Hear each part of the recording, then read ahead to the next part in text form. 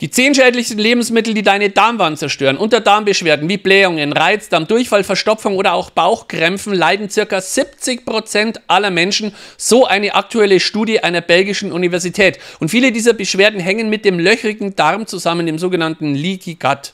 In diesem Video erzähle ich Ihnen genau, um was es sich bei diesem Leaky Gut Syndrom eigentlich handelt und durch welche Lebensmittel es ausgelöst werden kann. Und außerdem sprechen wir darüber, welche Auslöser außer Lebensmitteln es sonst noch gibt und was die besten Heilmittel sind, wenn Sie unter einem Leaky Gut Syndrom leiden. Schauen Sie sich das ganze Video an, denn ich kann Ihnen eins versprechen, es wird super, super informativ. Was der Aufbau eines Holzmöbelregals aus einem schwedischen Möbelhaus mit Ihren Darmzellen zu tun hat, das klären wir gleich nochmal genauer. Aber um die Störungen des Darms mal genauer verstehen zu können, brauchen wir etwas Grundverständnis für dieses Ökosystem Darm. Es ist ein biologisches Wunderwerk, ein eigenständiges Organsystem und ich vergleiche dieses Organsystem gerne mit einem super Komposthaufen, denn im im Wesentlichen passiert genau das Gleiche, was in Ihrem Komposthaufen im Garten passiert, denn Lebensmittel werden durchfermentiert. Das heißt, wir essen Lebensmittel und am nächsten Tag kommt bei uns schon der Biokompost, der Stuhl heraus, das fertige Brikett. Draußen dauert es natürlich länger, bei uns dauert es 24 bis 36 oder 48 Stunden und das Ganze wird dann realisiert von 500 bis 1000 verschiedenen Darmbakterienarten. Ungefähr 10 Billionen Darmbakterien haben wir in uns. Die machen ungefähr so eine Biomasse von 1,5 Kilogramm aus und unser Vorteil ist dann im Gegensatz zum Komposthaufen im Garten, dass wir noch andere Verdauungsorgane haben,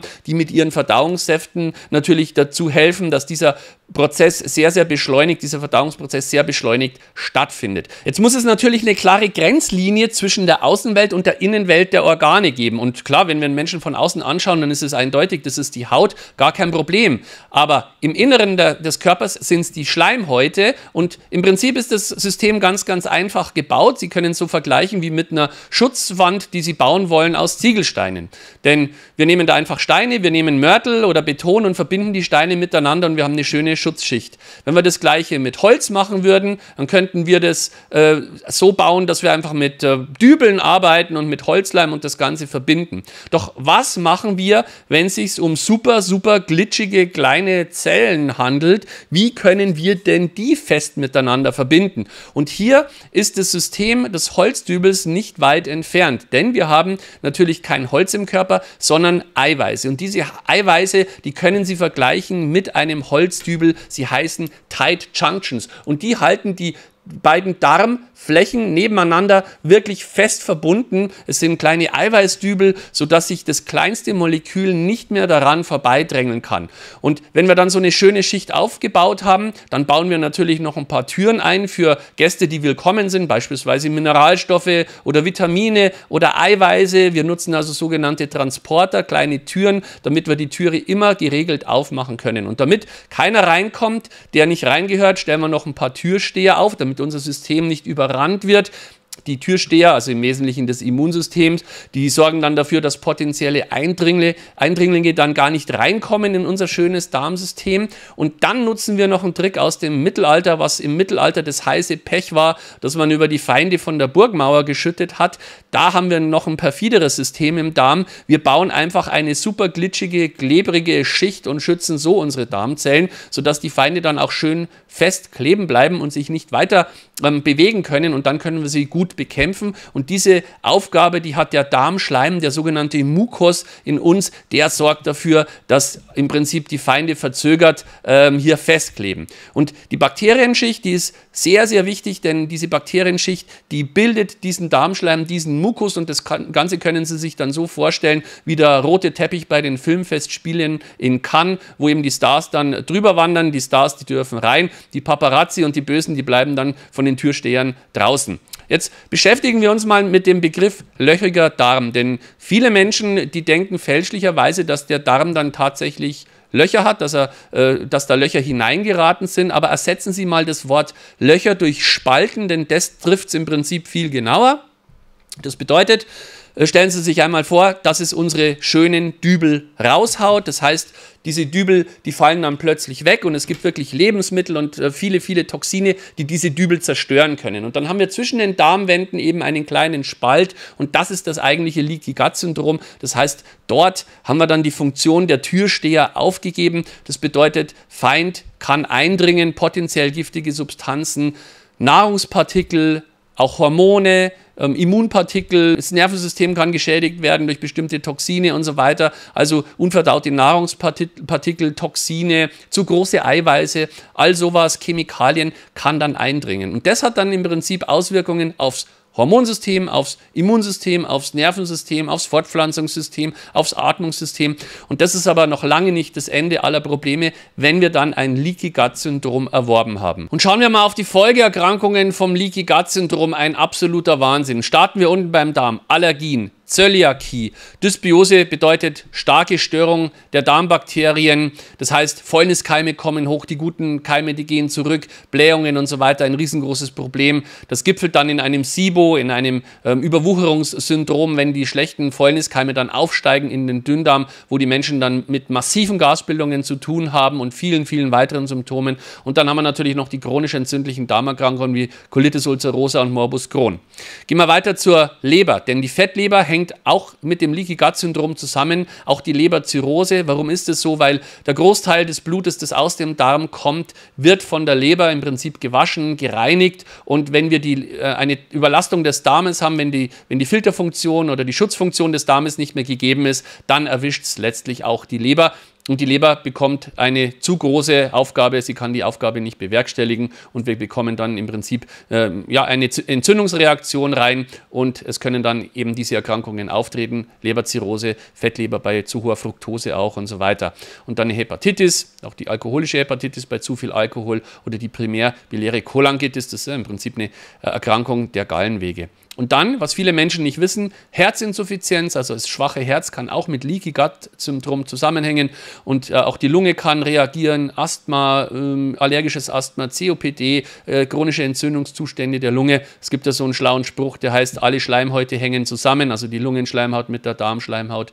Äh, das äh, ist im Prinzip hier die, die Verwandtschaft zu diesem Krankheitsbild. Und dann äh, viele, viele Probleme mit dem Gehirn, das chronische Fatigue-Syndrom, also chronische Müdigkeit, Depression, Schizophrenie. Hier gibt es x Studien zu diesen beiden Erkrankungsbildern zum Leaky Gut Syndrom und dem Darm. Autismus, auch Alzheimer, auch Parkinson und Demenz, all das wird diskutiert, all das wird auch derzeit in der Wissenschaft untersucht. Also viele, viele Forschungseinheiten forschen an diesem Thema. Und dann kann es bis zum Nierenversagen gehen, aber auch schwerer Typ Diabetes 1 und 2 hängt zusammen mit dem Leaky Gut Syndrom und auch Pankreatitis vom schwereren Typ. Also wir wollen das Leaky Gut Syndrom auf jeden Fall vermeiden. Schauen wir jetzt mal auf die Lebensmittel, die dieses Leaky Gut Syndrom auslösen können. Und man mag es kaum glauben, wir essen immer mehr Zucker in Europa, beziehungsweise die Verfügbarkeit von Zucker wird immer besser. Die durchschnittliche Zunahme der Verfügbarkeit von Zucker und Süßigkeiten in Kalorien pro Person pro Tag während der letzten vier Jahrzehnte stieg im Mittelmeerraum um 145 Prozent und in Mitteleuropa um 123 Prozent. Und Griechenland hat sich ganz aufgegeben, denn Griechenland hatte den stärksten oder traditionell den stärksten Index für diese mediterrane, gesunde Ernährungsweise, sprich wenig verarbeitete Lebensmittel, dadurch weniger Kalorien, mehr Ballaststoffe. Und da gab es den sogenannten oder gibt es den sogenannten mediterranen Angemessenheitsindex, wo man eben ausmessen kann oder benennen kann, wie gut oder wie schlecht sich ein Volk an diese mediterrane Ernährung hält. Und am stärksten ist dieser gesunken in Griechenland, nämlich um 63 Prozent, obwohl es die eigentlich super, super gemacht haben da werden halt auch immer mehr energiereiche und süße Produkte angeboten und dann mit Handkuss genommen. Und diesen Trend sehen wir auch in China. China explodiert regelrecht mit Zucker. Und das, was ist das Problem? Zucker, zu viel Zucker stört das Gleichgewicht zwischen den Bakterien und fördert auch das Pilzwachstum. Es fördert das Wachstum der falschen Bakterien, der Fäulniskeime. Und wenn die dann an der Macht sind, dann haben wir im Prinzip dieses Leaky Gut Syndrom äh, oder die Gefahr, ein Leaky Gut Syndrom auszubilden. Erst kommt es zu Bauchschmerzen, zu Durchfall, zu Blähungen und so weiter. Die Darmschleimhaut wird gereizt. In erster Linie ist es dann die Fehlbesiedelung dieser Bakterien, die das auslöst. Das heißt, ähm, wir haben haben eben diese Einfachzucker oder Zweifachzucker aus Weißmehl beispielsweise. Wir sollten das Weißmehl wegtun, äh, wir sollten einfach biologisch essen, wir sollten vollwertig essen, Gemüse und so weiter, all das Ganze. Aber das Problem ist, Ballaststoffe blähen. Viele Menschen mit Darmproblemen, die essen dann aus diesem Grund keine Ballaststoffe und dazu sage ich Ihnen gleich nochmal was, wie man das Ganze löst.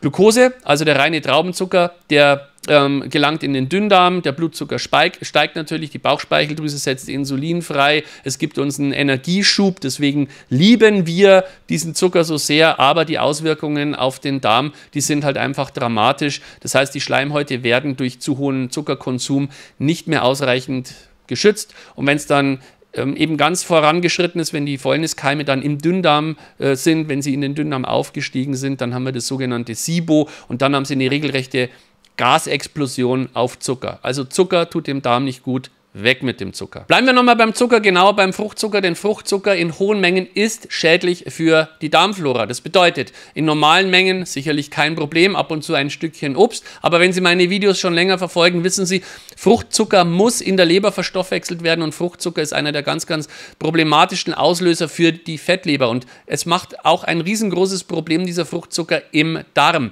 Denn was passiert genau?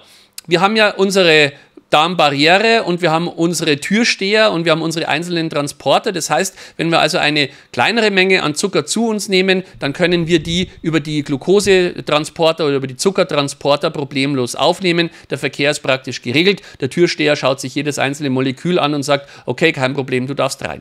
Wenn wir eine große Menge Zucker zu uns nehmen, dann helfen tatsächlich die Tight Junctions, also unsere Dübel mit. Das bedeutet, der Zucker, der kann sich also vorbeimogeln an den Türstehern und versucht, zwischen den Darmzellen hindurchzutreten. Aber hier gibt es ein Problem. Das bedeutet, dieser Zucker oder der Fruchtzucker, der wirkt dann tatsächlich darauf ein, dass unsere kleinen Dübel, unsere Tight Junctions lockerer werden und er kann die Darmbarriere regelrecht überwinden. Und es gibt noch ein zweites Problem. Es bedeutet eine Entzündungsreaktion. Also Fructose kann Entzündungsreaktionen im Darm machen und das hat dann auch wieder Leaky Gut zur Folge. Und das dritte ist natürlich, genauso wie der normale Zucker, ist es einfach das schlechteste äh, Futter für die Darmbakterien selbst. Und wenn die Darmbakterien außer Tritt kommen, haben wir auch wieder Entzündungsreaktionen. Die Folge ist dann Leaky Gut. Und welche Nährstoffe oder Nahrungsmittel hängen damit zusammen? Natürlich in erster Linie mal Fruchtsäfte. Apfelsaft, Traubensaft, Fruchtsäfte allgemein, am schlimmsten noch Fruchtnektar, der darf nämlich nochmal 20% zusätzlich Zucker enthalten. All das sind Dinge, die einfach sehr, sehr viel Fruchtzucker enthalten. Ebenso wie bestimmte Obstsorten, beispielsweise die grünen kernlosen Trauben, die wir ja so lieben, die haben ungefähr 16 Gramm Zucker pro 100 Gramm, die zählen zu den zuckerreichsten Früchten überhaupt. Die gesteigerte Form ist dann, sind dann die Rosinen, wo man sich da mal so eine Hand schnell mal reinfuttert.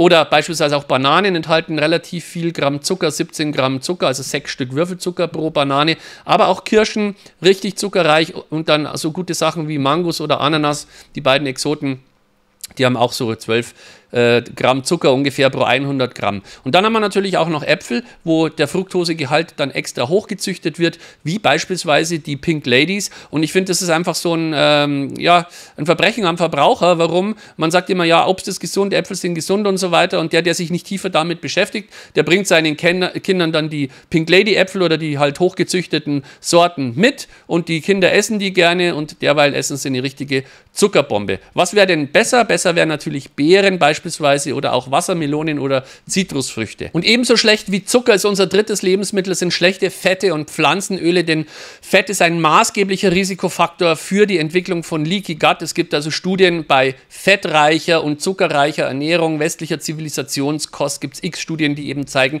dass hier Darmerkrankungen wie Morbus Crohn, äh, Colitis ulcerosa, Reizdarm und eben auch Leaky Gut Syndrom dann nach oben schnellen. Und in einer Studie hat man hier gezeigt, dass wenn man auf so eine Ernährung wechselt, dass es es im Prinzip umgehend und sofort zu einer ähm, Durchlässigkeit des Darmes kommt, beziehungsweise die, die, die Flora umgehend sofort gestört ist. Außerdem kommt es umgehend und sofort zu Entzündungsprozessen. Das heißt, diese hohen Fettmengen, die falschen Fette, die ähm, wirken sich dann nachteilig eben auf die Festigkeit unserer Dübel, der Tight Junctions aus. Die fördern dann barrierezerstörende Zytokine, das heißt einfach Entzündungsstoffe, die dann diese Verbindung attackieren. Die heißen TNF-Alpha, Interleukin 6, Interferon Gamma und so weiter. Und die Abnahme der schützenden, barrierebildenden Zytokine, Interleukin 10 oder Interleukin 17, die nehmen dann ab. Es kommt dann einfach zu so einer Entzündungsreaktion.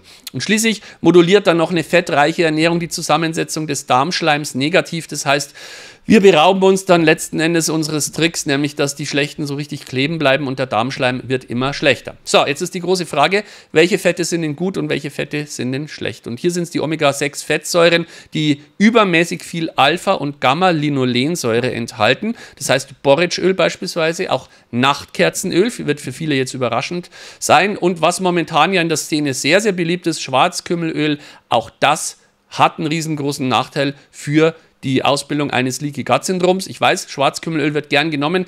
Es unterdrückt zwar Entzündungen, fördert aber Leaky Gut. Das sollte man wirklich bedenken. Der Gehalt in Leinöl und Hanföl ist okay. Das heißt, normale Mengen an Hanf und Leinöl ist überhaupt gar kein Problem. Das waren die schlechten Nachrichten. Jetzt kommen wir aber zu den guten Nachrichten hinsichtlich Ölsorten. Und hier sind es mal wieder die guten Omega-3 Fettsäuren, EPA, DHA, die eben hier die Darmflora richtig fest und dicht wieder miteinander verschrauben. Auch diesbezüglich ist die Studienlage eindeutig. Also denken Sie bitte immer an Ihre Fischölkapseln oder an Ihre Algenölkapseln oder an Ihren Algenöl, wie Sie es auch immer einnehmen mögen. Und viele Menschen lieben ihre Milchprodukte, aber es gibt genauso viele Menschen, die reagieren empfindlich auf Milchprodukte und ich spreche jetzt nicht über die Laktoseintoleranz, sondern über eine Reaktion auf die Milcheiweiße, in erster Linie auf Casein und dieses Casein oder diese Milcheiweiße, dieser Mix, der kann einen undichten Darm fördern. Hier gibt es viele Studien und hin, zahlreiche Hinweise drauf. Vor allem wird auch das Weglassen der Milch als eine Behandlungsoption bei Kindern mit Autismus und Schizophrenie diskutiert. Also hier gibt es doch eine sehr, sehr, sehr, sehr große ähm, Interessenslage, um diesen Kindern zu helfen. Und hier wird wirklich offiziell auch Leaky Gut Syndrom und äh, die Milcheiweiße richtig in der Wissenschaft untersucht und äh, nicht so knapp. Eines der größten Probleme ist, dass äh, wir die Milch natürlich pasteurisieren. Das heißt, die wird kurzzeitig erhitzt, um die Bakterien abzutöten, aber dadurch verändert es natürlich auch die Enzyme, die Bakterien, auch die guten werden getötet und äh, die Eiweiße verändern sich. Also das ist ein Problem letztlich, dass wir unser Eiweiß dann noch äh, verändern, diese Struktur der Eiweiße. Milchprodukte roh oder fermentiert sind kein Problem ähm, Joghurt, Kefir, Buttermilch und solche Dinge, die scheinen kein Leaky Gut Syndrom zu fördern. Auch ein, äh, ja, ein, ein guter Käse, der sollte auch kein Problem sein. Aber eben die Empfindlichkeit auf die veränderten Eiweiße von Menschen, die ändern sich, also pasteurisieren, hat im Prinzip Vorteile, hat aber auch eben Nachteile und viele Menschen vertragen das dann nicht so richtig. Und wie gesagt, Käse okay, aber achten Sie wirklich auf eine sehr, sehr gute Qualität und möglichst wenig verändert diese Milchprodukte. Im 20. Jahrhundert hat sich die weltweite Weizenproduktion etwa um das Fünffache erhöht und es ist ein Stoff, der hier eine besondere Rolle einnimmt, nämlich das Klebeeiweiß Gluten. Das Brot und das Gebäck, die werden knuspriger und es macht lockerer, steckt in zahlreichen Getreidesorten, Weizen, Roggen, Dinkel, Einkorn, Gerste beispielsweise, aber nicht nur das Gluten ist das Problem, sondern ein Molekül, das Gliadin, das ist, könnte für den Menschen problematisch werden. Natürlich werden es sicher viele, viele Menschen problemlos vertragen, aber es wird durchaus diskutiert, ob die Veränderungen des Weizens tatsächlich ähm, über die Jahre mehr Beschwerden in uns auslösen können als die älteren Weizensorten. Ich weiß, dass der Gehalt an Eiweiß generell sich vermutlich etwas äh, nach unten bewegt hat über die Jahrhunderte, aber Gliadin, dieser Stoff, der wird heiß diskutiert. Und es gibt noch einen zweiten Stoff, der heiß diskutiert wird, das ist die sogenannte mikrobielle Transglutaminase, MTG abgekürzt. Das ist ein äh, Klebeeiweiß, das gentechnisch hergestellt wird und mit diesem Klebeeiweiß wird in der Lebensmittelindustrie wahnsinnig viel gemacht. Beispielsweise kann man mit diesem Klebeeiweiß die Textur und das Aussehen eines Lebensmittels verändern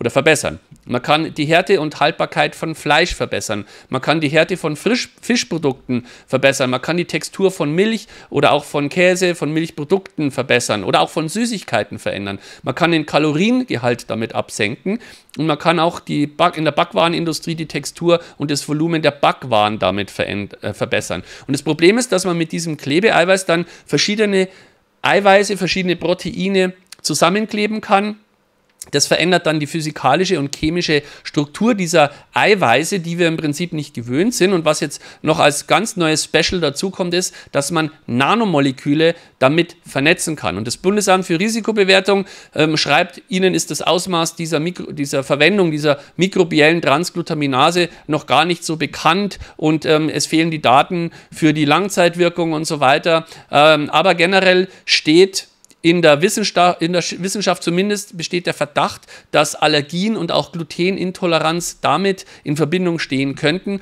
Und wir müssen davon ausgehen, dass diese, ähm, dieses Enzym weiter verwendet wird und dass man da mehr noch damit macht. Häufig lese ich dann unter meinen Videos, Sie, Sie reden ja alles schlecht, was soll ich denn überhaupt noch essen? Und Sie sagen uns nie, was wir noch essen können. Also grundsätzlich mal, wenn Sie keine Probleme mit Ihrem Darm haben und einfach Sie nachweislich gesund sind und nachweislich gesund bleiben wollen, dann nutzen Sie doch einfach die mediterrane Diät. Den Link finden Sie hier unter diesem Video. Denn die mediterrane Diät, wenn man sie richtig macht und nicht in dieser veränderten, schlimmen Form, wie wir vorhin gehört haben, ist die mediterrane Diät punktum die am besten untersuchteste und gesündeste Ernährung der Welt. Punkt.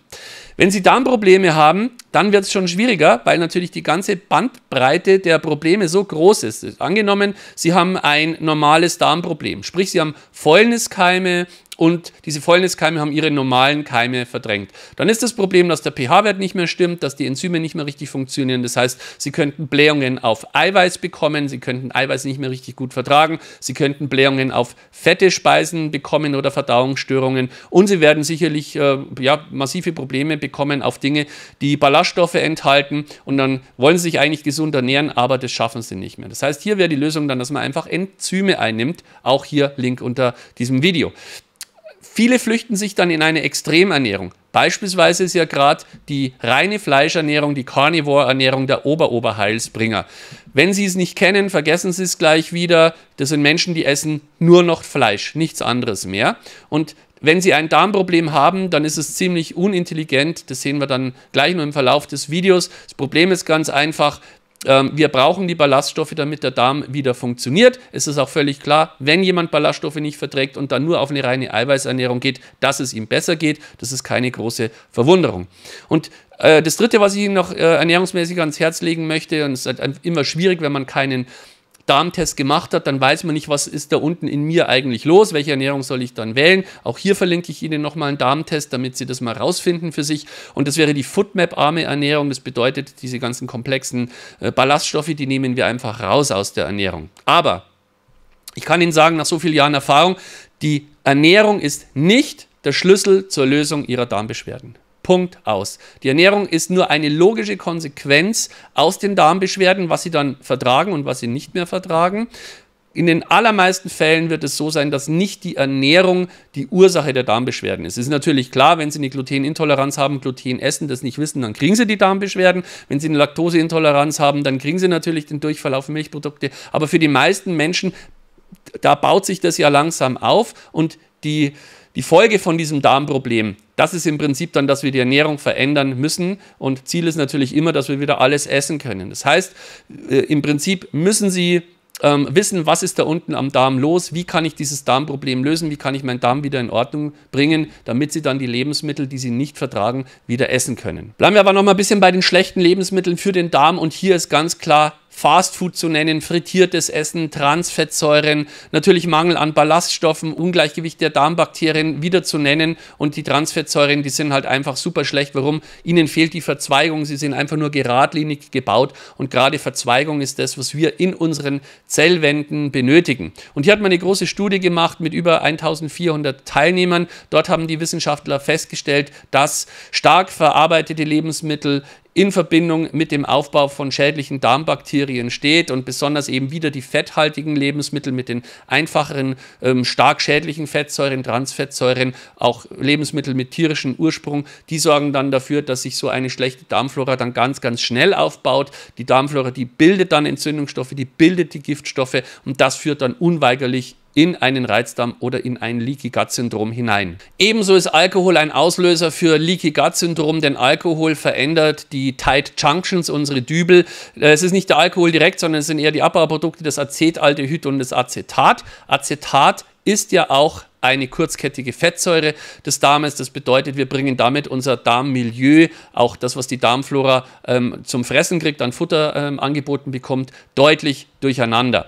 Und Das Problem ist dann, wenn Sie noch natürlich Alkohol mit etwas anderes kombinieren, wenn Sie eine schöne Brotzeit machen, äh, wo Alkohol mit dabei ist, ein Bier beispielsweise oder ein Glas Wein, wenn Sie dann histaminreiche Sachen zu sich nehmen, wie Schinken, wie Salami und so weiter und dann noch ein schönes Bauernbrot und Sie schon angeschlagen sind, dann gibt es eine schöne, richtige, explosive Knallmischung. Das heißt, das Ganze kann Ihnen dann richtig schön angären und um die Ohren fliegen. Der Gebrauch von Lebensmittelzusatzstoffen in Europa nimmt dramatisch zu. Hier handelt es sich um Chemikalien, um naturfremde Substanzen, die den Lebensmitteln Lebensmitteln zugesetzt werden, als Fraßschutz, als Pilzmittel, als Konservierungsmittel und so weiter. Und für viele nützliche Darmbakterien sind diese Mittel einfach tödlich. Und dann lese ich immer wieder die Kommentare von belehrenden Lebensmittelchemikern, so nach dem Motto, ich hätte keine Ahnung von der Sache. Ja, Sie in Ihrem weißen Kittel, in Ihrer Industrieproduktion vor der Mischmaschine sehen die Probleme nicht. Ich in meiner Praxis sehe sie vor allem bei zwei Dingen und das Ganze ist auch wissenschaftlich abgesichert, was ich hier sage. Emulgatoren sind das eine Problem und Tenside das andere Problem. Genauer sind es die Saccharose Monoester-Fettsäuren. Sehr, sehr beliebte Zusatzstoffe in der Lebensmittelindustrie und die lösen uns unsere Dübel auf, die sogenannten Tight Junctions. Und einer der Hauptakteure äh, weltweit in der Verwendung dieser Emulgatoren in der Lebensmittelindustrie ist Japan. Die haben also den, mit den höchsten jährlichen Umsatz von diesen Emulgatoren und die haben eins gemacht. Sie haben geschaut, in ihrer Lebensmittel- und Getränkeherstellung haben sie ein erhöhtes Auftreten von Morbus Crohn nachgewiesen, korreliert exakt mit dem verstärkten Verwenden von diesen Emulgatoren. Zweifelsohne lässt sich sagen, dass diese Auswirkungen von diesen chemischen Substanzen auf die Integrität der Tight Junctions bewiesen ist und dass hier die Lebensmittelindustrie einfach nachbessern muss. Und ein Wunderwerk der Lebensmittelindustrie, auch wenn es ihr Dorfmetzger macht, ist verarbeitetes Fleisch, also Wurst. Konservierungsmittel trifft auf Geschmacksverstärker, auf hohen Salzgehalt, auf tierische Fette, auf gesättigte Fettsäuren, auf Arachidonsäure, auf keine Ballaststoffe und die internationale Agentur für Krebsforschung, die hat Wurst, also verarbeitete Lebensmittel als krebserregend eingestuft. Es steht auf der gleichen Stufe wie Nikotin. Und das Problem ist, rotes Fleisch und auch Wurst, das verändert die Darmbakterien. Ich weiß, die äh, Fraktion der Carnivore-Ernährung wird wieder aufschreien, aber bitte machen Sie sich darüber Gedanken, wenn Sie keine Ballaststoffe zu sich nehmen, von was leben eigentlich Ihre Darmbakterien. Und ich äh, freue mich, wenn Sie 15 oder 20 Kilo abgenommen haben, zweifelsohne. Wir hatten aber die gleichen Ergebnisse mit auch anderen Diätformen, die ballaststoffreich sind in der Vergangenheit, in der Gegenwart und wir werden sie auch in der Zukunft haben. Also überprüfen Sie bitte wirklich, was Sie da machen mit einer starken fleischlastigen ketogenen Ernährung oder sogar mit einer Carnivore-Ernährung. Ja, und es klingt unglaublich, aber Salz schädigt auch die Tight Junctions und erhöht die Durchlässigkeit des Darmes. Man schätzt auch oder man vermutet, dass die zunehmende Häufigkeit von Autoimmunerkrankungen mit dem Salzkonsum in Verbindung steht. Was passiert hier? Hier werden die CD4-T-Zellen verändert verändert oder auch die TH17-Zellen können durch zu hohen Salzkonsum verändert werden. Man hat auch herausgefunden im Mausmodell, dass bei einer multiplen Sklerose durch eine höhere Menge äh, an Salz in den Lebensmitteln der Mäuse dann dazu geführt hat, dass über TH17-Zellen die Schädigung der Nervenzellen rascher voranging. Also bitte Befolgen Sie die Ratschläge, salzen Sie nicht so viel, schränken Sie Ihren Salzkonsum ein. Was schädigt denn den Darm eigentlich noch? Und hier gibt es auch wieder Fakten, die bewiesen sind, viele Umweltfaktoren natürlich psychischer Stress, physischer Stress, Schwermetalle, ähm, Toxine, Übergewicht, ähm, Antibiotika, viele Schmerzmittel, NSAIDs beispielsweise, aber auch Allergien oder auch ähm, Nähr Nährstoffmängel können dazu beitragen, dass unser Darm dann richtig schön undicht wird. Was können wir denn jetzt tun, um unser Leaky Gut Syndrom zu heilen? Und hier ist ganz, ganz wichtig, dass man einfach dem Darm das richtige Futter anbietet. Und hier geht es weg von den einfachen Kohlenhydraten hin zu den komplexen Kohlenhydraten. Komplexe Kohlenhydrate, Ballaststoffe enthalten mehr mehr als zwei Zucker. Und ja, ich weiß, viele Patienten, die schon Darmprobleme haben, vertragen diese Ballaststoffe nicht, aber dazu sage ich gleich nochmal was. Es gibt eine schöne Studie, die zeigt Steigerung von Ballaststoffen von 19 auf 29 Gramm pro Tag über sechs Monate, senkt den Zonulinwert. Zonulin ist der Wert, der uns zeigt, ist die Darmbarriere hier dicht oder undicht. Wenn man das über sechs Monate macht, dann bekommt man dieses Ergebnis. Und welche Ballaststoffe sind gut geeignet? In erster Linie mal Arabinose, die ist enthalten in Akazienfasern oder auch Inulin, sogenannte Fructane. Und dann haben wir noch die Fructooligosacharide, FOS, oder die Galacto-Oligosaccharide, die GOS. Also diese vier Stoffgruppen, Ballaststoffgruppen, die sind ganz, ganz besonders geeignet. Bitte passen Sie auf, wenn Sie eine Fructoseintoleranz haben, dann äh, vertragen Sie die Fructooligosacharide nicht gut, vertragen Sie auch mein Mukoaktiv nicht gut. Und was können Sie hier machen, wenn Sie ähm, noch zusätzlich Pflanzenstoffe einnehmen möchten. All das sind wissenschaftlich validierte Daten. Quercetin beispielsweise funktioniert gut oder der Grüntee-Extrakt, Epigallocatechin oder auch Berberin oder auch Kurkumin, hier natürlich in der liposomalen Form sehr, sehr geeignet, um ein Leaky Gut Syndrom äh, runterzubringen, weil es über die liposomale Form dann gut eindringen kann. Link ist auch unter diesem Video. Das Wichtigste, was ich Ihnen mitgeben möchte, ist, bauen Sie Ihre Darmflora auf, investieren Sie in einen Darmtest, damit Sie wissen, habe ich zu wenig gute Bakterien, habe ich zu viel schlechte Bakterien, wie ist meine Eiweißverdauung, wie ist meine ähm, Fettverdauung, habe ich zu viel Stärke, esse ich zu viel Zucker, wie ist mein pH-Wert, äh, ist meine Darmschleimhaut schon gereizt. All das sind Parameter, die unglaublich wichtig sind und die Ihnen wirklich Jahre, Jahre an Herumstochern und Ausprobieren sparen können. Ich hatte selbst in meiner Jugend Darmprobleme seit meiner Kindheit. Ich weiß wirklich, wovon ich hier spreche. Nehmen Sie gute Ballaststoffe. Wenn Sie die Ballaststoffe nicht vertragen, dann müssen Sie die langsam anfangen. Auch hier wieder die Aufforderung, Sie brauchen dann einen Stuhltest. Vielleicht brauchen Sie auch einen SIBO-Test. Die beiden Tests, geben dann Auskunft darüber, ob Sie ein Problem haben, wo das Problem sitzt und ähm, Schauen Sie einfach unter diesem Video. Ich habe Ihnen ein paar Tests verlinkt, die hier von Vorteil sein können, damit Sie wissen, was los ist. Ich helfe Ihnen auch gerne. Wir haben eine Darm-Community, es gibt einen Darmaufbaukurs. Aber es ist erstmal nicht wichtig. Wichtig ist, dass Sie mal wissen, wo steckt mein Problem? Und die Kostumstellung, die sollte dann nach und nach erfolgen, also nicht plötzlich, denn es gibt meistens Probleme. Schleichen Sie das alles langsam ein und lassen Sie erstmal die schlechten Nahrungsmittel weg. Es gibt auch eine super, super Studienlage dazu, dass Menschen, die sich halt im Wesentlichen von Fertigkost ernähren, dass es denen einfach viel, viel besser geht, wenn sie einfach nur auf eine, eine gute Ernährung umsteigen, eine gesunde Ernährung umsteigen, wenn sie anfangen, selbst zu kochen. Ich hoffe, Ihnen hat das Video gefallen. Ich würde mich wirklich freuen, wenn Sie dieses Video teilen teilen. Danke auch an meine Kanalmitglieder. Wir sehen uns beim nächsten Live. Schwerpunkt wird sicherlich hundertprozentig der Darm sein. Und dann freue ich mich, wenn Sie äh, wieder einschalten beim nächsten Video. Danke fürs Zusehen und bis bald.